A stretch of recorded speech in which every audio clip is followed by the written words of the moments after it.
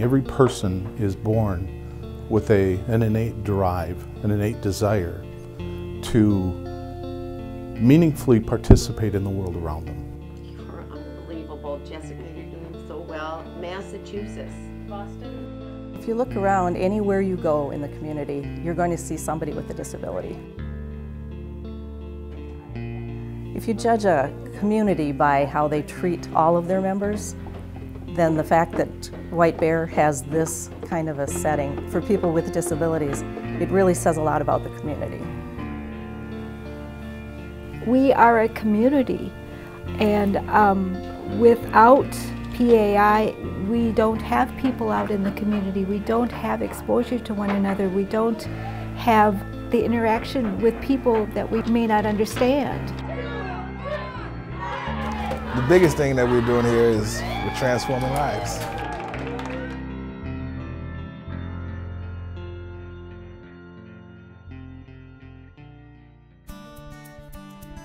PAI is um, a service that we uh, work with individuals with developmental disabilities and um, physical disabilities.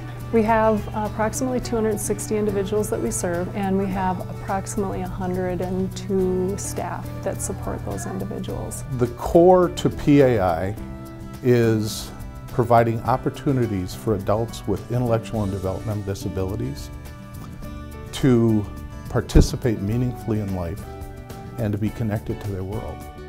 We began in a small uh, building with, I think it was uh, just a little over 50 individuals. We went on to expand. We had slow managed growth over um, a number of years.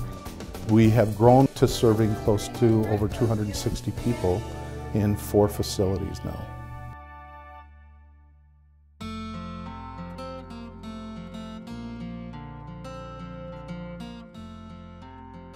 We work with adults from young adult to adult through senior citizens.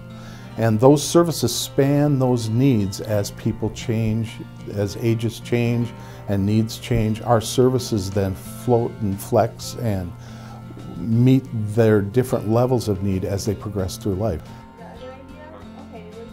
The newest uh, part of Parkway is the autism program.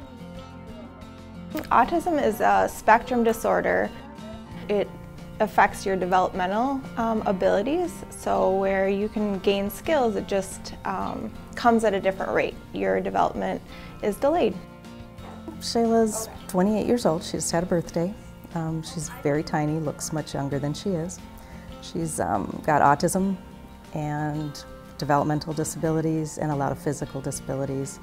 Anything else that you found fascinating? When we found this place, it was just like a godsend. We work a lot on um, just teaching them skills from the ground level of, okay, eye contact, or when somebody asks you something, you should respond. We work on those skills in really um, like focused ways here in the building and then we can go out into the community and practice those skills to see how well they translate. I wanted a place where she could grow, not just be parked somewhere for the rest of her life. And this looked like it had everything that we were looking for. It had social interaction, it had activities, it had work skills, it had living skills. Um, it had the opportunity for her to do more than just be helped. She could do things with other people, she could help other people too. I see their ability to continue to grow and contribute and teach um, our society things that we often miss. Since she's been here, she's really gained a lot of confidence. She's like little Miss Social Girl.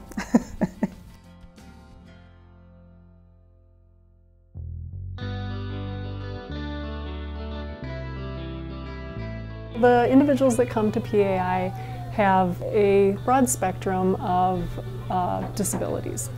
And that could range from individuals that have intellectual disabilities, um, mild to severe, individuals that have those higher medical needs. We cater to a, a variety of clients. I mean, various different diagnoses. I mean, various disabilities. We want them to maximize what they're able to do. Another feature of our Linden Avenue location is that they have an a, a excellent art program. Um, and it's been a wonderful way for the individuals at that location to build skills, show talents, um, and create a, a place in community for those individuals.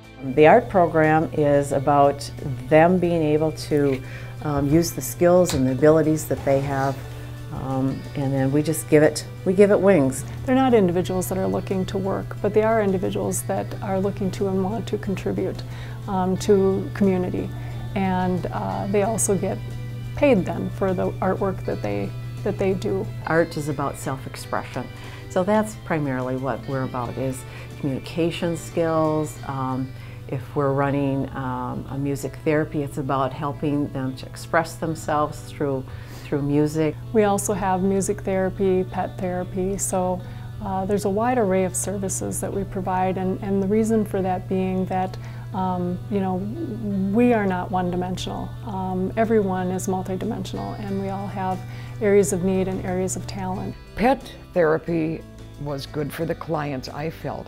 There were a few when I came in and I would ask them if they wanted to pet the dog. And they'd say, no, no dog. And after about two times here, they'd say, nice dog. And they'd pet them and love him up. And uh, the clients reacted very good to him. There's this one gentleman down in one of the rooms that he never really responds.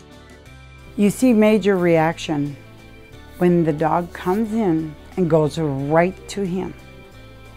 And, and then his hand's gonna start petting.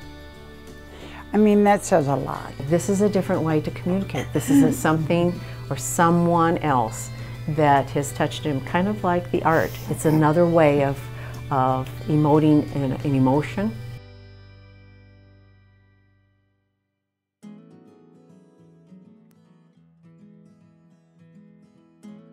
The ability to participate in vocational opportunities and vocational activities is based on the individual's needs and wants, and they truly dictate for, for us what they're interested in doing.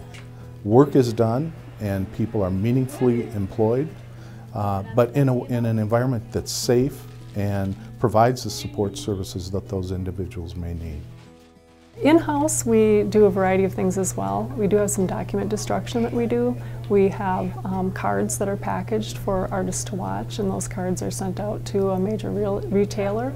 We uh, do about 48,000 a, a week uh, for Design House, and these cards go out to Trader Joe's that are located throughout the country. Well, I think about a thousand, more than a thousand a day if, if I have the setup, you know. I do a little cards, a few cards in the morning and a, and a few after lunch. The work opportunities that we have for our clients are um, they work at Target, they'll work at, at Cub out in the community, um, Payless Shoes. We have some individuals that work at Dynamic Air. So they do a variety of things. It might be from janitorial to um, restocking shelves to uh, testing parts for Dynamic Air. We also do um, hand packaging for a um, for Park Tool. It was over 20 years ago that we started with PAI, and I think uh, they came to visit us and uh, said, "Is there anything that we can do uh, to help out?" And we started with one product, and now we use them for a huge variety of, of help of, of products that they help us with. Here at PAI, they uh, test smaller parts that make up the whole part of the system. They test them for leaks and make sure they're performing correctly before we send them out to the final customer. I think it's important that we can do our part to uh, to provide jobs, to, to provide work for adults with disabilities. I, I think it's our duty as a part of the community and I think it, it helps uh, a lot of people have that feeling of worth. We talk about individualized programming, and that's what this is all about. You work with, with an individual in determining what they're interested in, what, they, what they're capable of doing, where we can help them evolve in what they're capable of doing, and then we try to find the job that's right for them. EASE stands for Electronic Archival Scanning Enterprises, and it was uh, our way to kind of give a, uh, a home and a brand to our digital imaging services. These folks need an opportunity to work just like everybody else, and with having this program, it gives them that chance to, and to work up to their best potential that they possibly could. And we just give people opportunity to get paychecks. You know, a lot of times they won't have opportunity to get paychecks in the community, and here we, by means of uh, different um, paying standards and stuff like that, we're able to um, give people work and paychecks every two weeks. You know, so they just you know, feel more independent and get that satisfaction of going to the bank and cashing checks and having extra money to spend.